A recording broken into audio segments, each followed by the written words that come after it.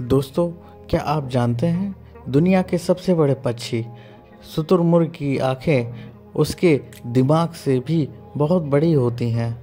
दोस्तों शुतुरमुर्ग सबसे तेज़ दौड़ने वाला पंछी है, और इसकी लाश से शेर की भी मृत्यु हो सकती है।